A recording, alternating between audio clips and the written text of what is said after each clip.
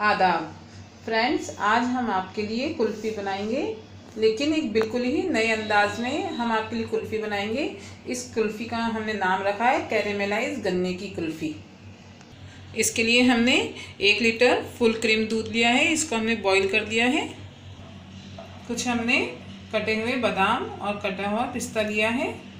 थोड़ा इलायची पाउडर, थोड़ी ज़ाफ़रान ली है, इसको हमने गर्म दूध में भिगो दिया है। एक कटोरी शक्कर ली है, आप अपने टेस्ट के मुताबिक भी ले सकते हैं। एक टेबल स्पून कॉर्नफ्लोर लिया है, एक गिलास गन्ने का हमने जूस लिया है। दूध हमारा बॉईल है, इसको हमने गैस के ऊपर रख दिया है और चीनी हम इसमें डाल देंगे। थोड़े कटे हुए बादाम भी डाल देंगे, कटा हुआ पिस्ता, ज़ाफ़रान।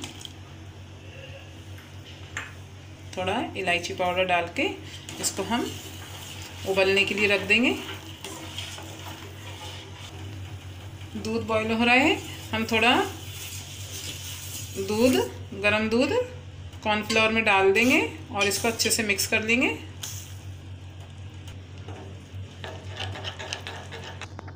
देखिए, हमने कॉर्नफ्लोर का थोड़ा दूध डाल के अच्छे से इसको मिक्स कर लिया है। अब हम रेगुलर चम्मच हिलाते हुए कॉर्नफ्लोर डालेंगे ताकि थोड़ा थोड़ा डालेंगे ताकि लम्स नहीं पड़े।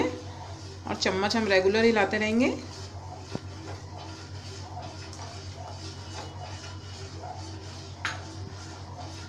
और इसको गाढ़ा होने तक थोड़ा बॉईल कर लेंगे।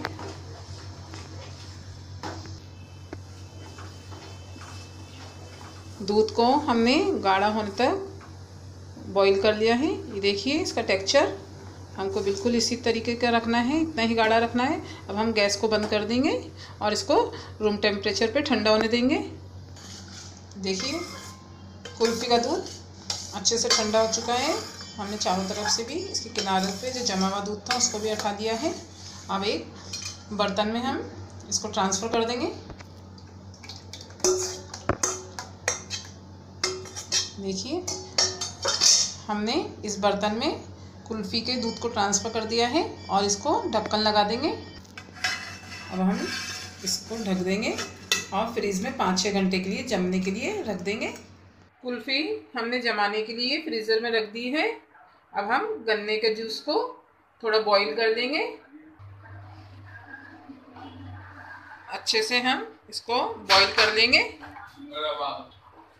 ये देखिए, हमने गन्ने को रेगुलर हिलाते हुए इतना पका लिया है, इसको इतना रिड्यूस कर लिया है, देखिए, और इसका कलर भी एक कैरेमलाइज जैसा हो गया है। बस थोड़ा और पका के हम इसको ठंडा कर लेंगे। अब हम गैस की फ्लेम को बंद कर देंगे और इसको ठंडा होने देंगे।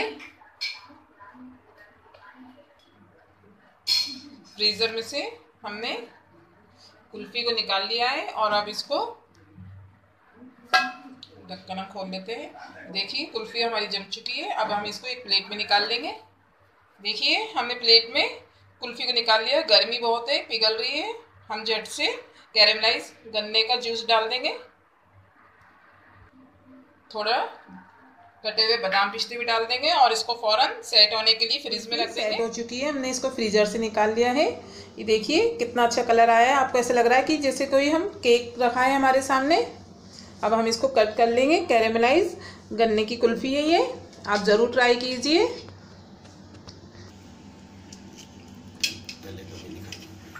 शायद आपने पहले कभी इसको ट्राई नहीं किया होगा। इस बार ज़रूर ट्राई कीजिए। कैरेमलाइज गन्ने की कुल्फ़ी यूट्यूब पे भी शायद पहली बार ही हम शेयर कर रहे हैं आपके साथ में। अगर आपको हमारी रेसिपी पसंद आए तो प्लीज़ लाइक शेयर और कमेंट्स कीजिए। साथ में हमारा चैनल सब्सक्राइब कीजिए और बेल आइकन भी दबाइए। शुक्रिया। अल्लाह हाफिज़।